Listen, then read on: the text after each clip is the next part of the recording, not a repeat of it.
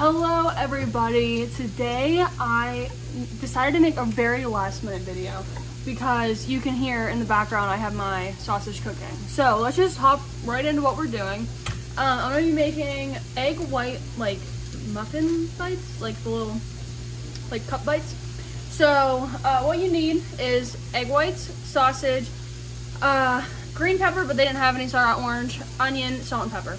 It's so easy. I can't wait to show you guys how to do this. So I'll come back after I have all my stuff prepped, just so we can get a move on. Because I, I, I thought I was like, oh my gosh, I should make a video of this. And I ran and got my stuff while this sausage was cooking. So BRB. All right, so my sausage has got done. Really hot. You want it to look like this, like grounds, because it's gonna be sprinkled in to the egg white mixture. So we're gonna go ahead and we're going to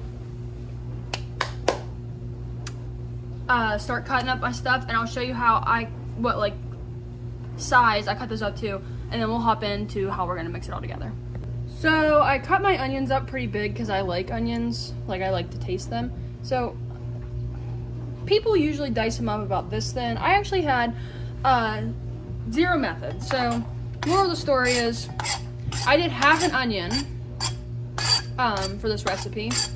And I think that with this one, I'm not gonna be giving you like direct measurements on everything because I think with this one, you kind of just have to go off what you like. Like if you like a lot of onion, put a lot of onion in it. If not, if not. But I will say there are measurements technically for the egg whites. I got 16 ounces, I believe. I'll check whenever we go back to them. But um, for the egg whites, you are gonna wanna get a certain amount so that it fits all of your vegetables and sausage. So uh, I'll be back after I'm done cutting up this, and then after I'm done cutting up this, we're gonna mix all the stuff together and put it in our tin. Okay, now we have all this stuff in a big bowl. Um, we have the sausage. I just put like about half the sausage in. I put the whole bell pepper in, and I put half an onion in. So whatever that measures out to, that's what I'm putting in for now. So next, liquid egg whites. I bought the carton. This says it's equal to 20 eggs. Um, I actually lied. This is 32 ounces, not 16. I'm gonna go ahead. I'm gonna dump these into uh, this bowl and mix all around. I'm not dumping the whole thing, for the record. Should I shake this? No, don't dumping it in.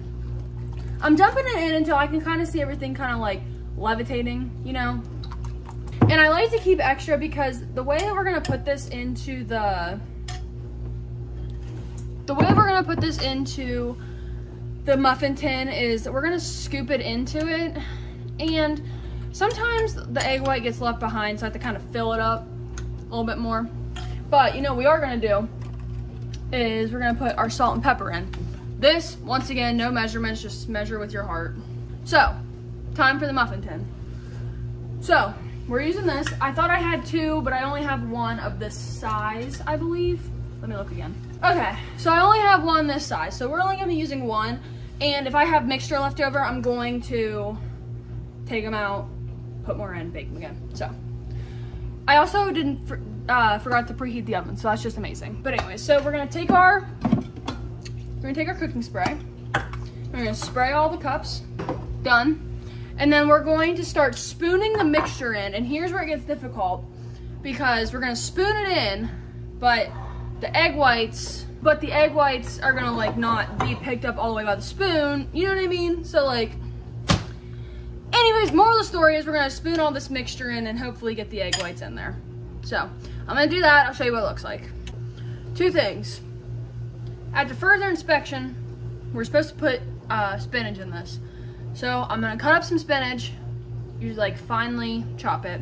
I'm gonna put it over top of this batch that I just put in here, and then I'm going to mix it in with the rest of the mixture that I have. So let's just continue on.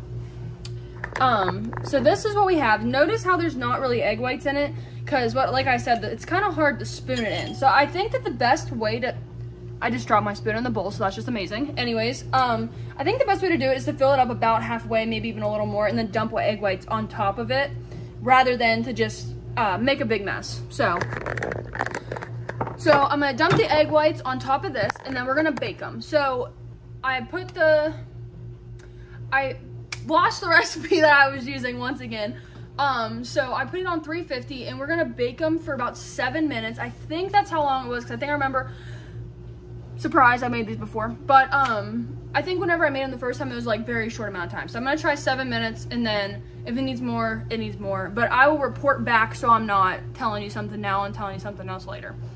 So I'm gonna do that and then I'll be back with this batch and the final results after I get the um, spinach in here.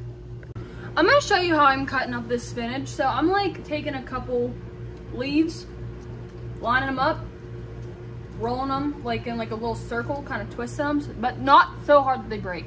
And then I'm just cutting like this. Um, if that's not the right way to how to do it, I don't even care. Um, I honestly don't know why anybody's here watching this video because I just do stuff I want to. All right, here they are. Still really hot, so I can't hold them up too well, but that's what they look like. Um, I ended up doing it for around 20 minutes, and I don't know why it took so long this time, but it did. And I don't know. I don't know. It ended up just taking forever. So, uh, like I said before, I already tried these. Like, I've already made them before, and I know I liked them. I just wanted to come here and show you guys how to make them, because I think it's pretty good recipe. So, um, so yeah. So I hope that you guys enjoyed watching this. I know it was kind of short. I'm sorry about that. It's kind of boring too. Not too much going on. But, um, super simple, easy. I guess takes 20 minutes. I would watch it. I would put it in for 350 and kind of watch how it cooks. And then decide for yourself, like maybe put it in for like 10 and then look and be like, yeah, that's still a lot. Another 10. So, that's my method. So, thank you guys for watching, and I hope to see you guys again soon.